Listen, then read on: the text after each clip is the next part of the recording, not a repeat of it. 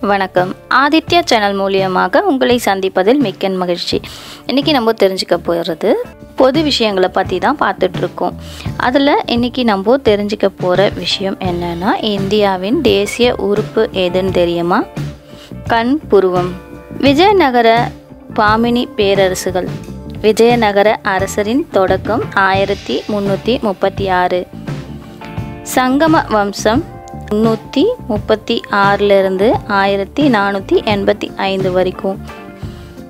துருவ வம்சத்தில் ஆயிரத்தி ஐநூற்றி அஞ்சிலிருந்து ஆயிரத்தி ஐநூற்றி எழுபது வரைக்கும். ஆரவிடு வம்சம் ஆயிரத்தி ஐநூற்றி எழுபதுலேருந்து ஆயிரத்தி அறநூற்றி ஐம்பது வரைக்கும். கிருஷ்ணதேவராய மன்னரால் முடிசூடல் ஆயிரத்தி ஐநூற்றி ஒன்பதில் இருந்து ஆரம்பிச்சிருக்காங்க. கிருஷ்ணதேவராயரின் இறப்பு எப்போன்னு தெரியுமா? ஆயிரத்தி ஐநூற்றி இருபத்தி ஒன்பது. தமிழனுக்கு என்று நாடு இல்லை அப்படின்னு சொல்கிறத விட தமிழ் தமிழனுக்காக ஒரு கண்டமே இருந்தது அப்படின்னு தெரியுமா உங்களுக்கு? அதுதான் லிமோரியா குமரிக்கண்டம். மராத்தியர் சிவாஜியின் பிறப்பு ஆயிரத்தி ஐநூற்றி இருபத்தி ஏழு. சிவாஜியின் சூரத் நகரின் தாக்குதல் ஆயிரத்தி அறுநூற்றி அறுபத்தி நாலு. புரந்தர் உடன்படிக்கை ஆயிரத்தி அறுநூற்றி அறுபத்தி ஐந்து. சிவாஜியின் முடிசூட்டப்படுதல் ஆயிரத்தி அறுநூற்றி எழுபத்தி நான்கு. சிவாஜியின் இறப்பு ஆயிரத்தி அறுநூற்றி எண்பது. நம்ம கஷ்டங்களாக கடந்து செல்லும் போது தான் நம்மளோட வாழ்வோட உண்மையான வழி என்ன அப்படின்றது நமக்கு தெரியும். நாம் தேசிய சின்னத்திற்கு நான்கு சிங்கங்களுக்கு கீழ் உள்ள பகுதியில் எந்த இடத்துல விலங்கின் உருவம் பொறிக்கப்பட்டிருக்கிறதுன்னு தெரியுமா? பார்த்துட்டு நம்மளோட கமெண்ட் பாக்ஸில் கமெண்ட் பண்ணுங்க. ஜமீன்தார் என்ற சொல்லுக்கு நில உடைமை உடையவர் அப்படின்னு தான் அர்த்தம். அதாவது பாரசீக மொழிகளில் ஜமீன்தார் என்ற சொல்லுக்கு நிலத்தின் உரிமையாளர் என்று பொருள். இது டிஎன்பிசியோட கொஸ்டினாக கேட்டிருக்காங்க. நூல்களின் சிறப்பு பெயர்களை என்னன்னு பார்க்கலாம். இயற்கை ஓவியம் அப்படின்னு இருக்கு. அதோட பேர் என்ன தெரியுமா? பத்து பாட்டு. இந்த பத்து பாட்டை தான் இயற்கை ஓவியம் அப்படின்னு சொல்லுவாங்க. கலித்தொகை இன்ப களம் அப்படின்னு தான் சொல்லுவாங்க. இயற்கையின் இன்ப களம் அப்படின்னு சொல்லுவாங்க. இயற்கையின் வாழ்வில்லம் அப்படின்னு சொல்றது திருக்குளர் இயற்கை இன்ப வாழ்வு நிலையம் அப்படின்னு சொல்றது சிலப்பதிகாரமும் மணிமேகலையும். இயற்கை தத்துவம் அப்படின்னு சொல்றது என்னன்னு தெரியுமா? தீவக சிந்தாமணி. பரிணாமம் அப்படின்னு சொல்கிறது கம்பராமாயணம். இயற்கை அன்பு அப்படின்னு சொல்கிறது பெரிய புராணம். இயற்கை இறையருள் அப்படின்னு சொல்கிறது தேவாரம் திருவாசகம் திருவாய் மொழிகள். இதுவும் டிஎன்பிசி கொஸ்டினுக்கு இம்பார்ட்டண்ட்டான டிஎன்பிசி கொஸ்டினில் வர கொஸ்டின்ஸ் தான். இந்தியாவின் முதலாவது செயற்கைக்கோள் ஆரியப்பட்டா அப்படின்றது நம்ம எல்லாருக்கும் தெரியும்.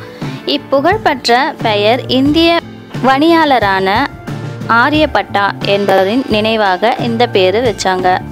இச்செயற்கைக்கோளை சோவியத் ஒன்றியத்தால் ஆயிரத்தி தொள்ளாயிரத்தி எழுபத்தைந்து ஏப் ஏப்ரல் பத்தொம்போதில் இல்கப் ஸ்ட்ரீன் யார் என்ற இடத்தில் இருந்து கெஸ்முஸ் மூணாம் என்ற என்றான ஏவுகணை மூலம் செலுத்தப்பட்டது. கண்ணகி சிலம்பை உடைத்த போது அதில் இருந்து வந்த பரல் பாண்டியன் மன்னனின் முகத்தில் எங்கு பட்டது.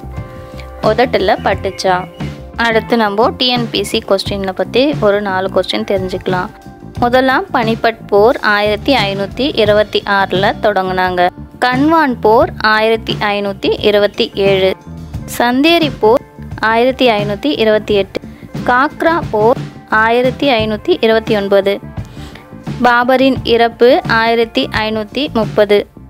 சவுசாப் போர் ஆயிரத்தி ஐநூற்றி முப்பத்தி ஒம்பது கண்ணேசி போர் ஆயிரத்தி ஐநூற்றி நாற்பது அக்பரின் இறப்பு ஆயிரத்தி அறுநூற்றி அஞ்சு. அவுரங்கசீப்பின் இறப்பு ஆயிரத்தி எழுநூற்றி ஏழு. இந்த வருஷங்களெல்லாம் நம்ம தெரிஞ்சு வச்சுக்கிட்டா நம்மளால் டிஎன்பிசி எக்ஸாம் எழுதுறதுக்கு கொஞ்சம் சுலபமாக இருக்கும். அடுத்து உயிர் திரவியங்களும் அதோட ஹெச்பியும் எவ்வளோ அப்படின்னு பார்க்கலாம். அதோட பிஹெச்சும் எவ்வளோ அப்படின்றத பார்க்கலாம். ரத்தத்துக்கு ஏழு புள்ளி முப்பத்தி அஞ்சிலிருந்து ஏழு புள்ளி நாற்பது வரைக்கும் பிஹெச் இருக்கும்.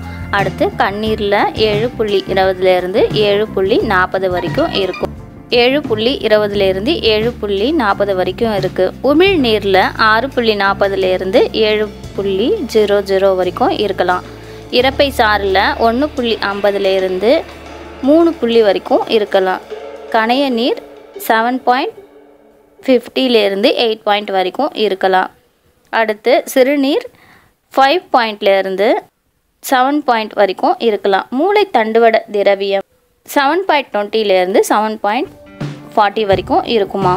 இதுவும் டிஎன்பிசி கொஸ்டின் திருக்குறளில் இடம்பெற்றுள்ள மொத்த எழுத்துக்கள் எத்தனைன்னு தெரியுமா? நாற்பத்தி ரெண்டாயிரத்தி நூற்றி தொண்ணூற்றி நா இன்றைக்கி நம்ம பொது விஷயங்களை பற்றி தெரிஞ்சுக்கிட்டோம். இதில் டிஎன்பிசி கொஸ்டின்ஸும் கொஞ்சம் இருக்குது நீங்கள் இந்த வீடியோவை பார்த்து தெரிஞ்சுக்கோங்க. நன்றி வணக்கம். இந்த வீடியோ உங்களுக்கு பிடிச்சிருந்தா லைக் பண்ணுங்கள் ஷேர் பண்ணுங்கள் சப்ஸ்கிரைப் பண்ணுங்கள் நன்றி வணக்கம்.